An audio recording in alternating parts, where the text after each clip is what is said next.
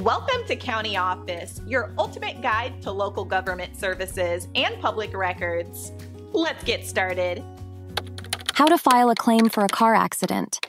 After a car accident, emotions and adrenaline run high, but there's a process to follow to ensure everything is on track. First, safety is paramount. Check for injuries and move to a safe area before anything else.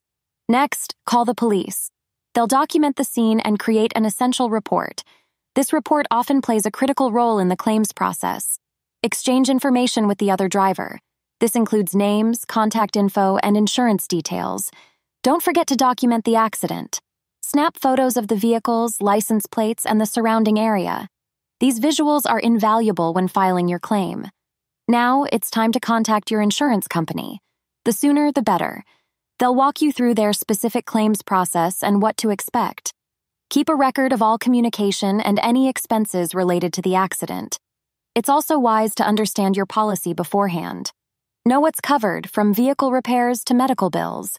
If the accident was not your fault, the other driver's insurance might cover your costs. Sometimes a claims adjuster will assess the damage. They determine the cost of repairs or if your car is a total loss. If you disagree with the assessment, you can get an independent estimate. Lastly, patience is vital. Claims can take time to resolve. Stay in contact with your insurance company and respond promptly to any requests for additional information.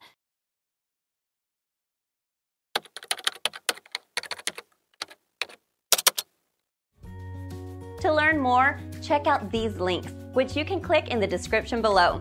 And feel free to comment your questions. We're here to help. Thanks for tuning in to our video please like and subscribe and leave a comment below. See you in the next video.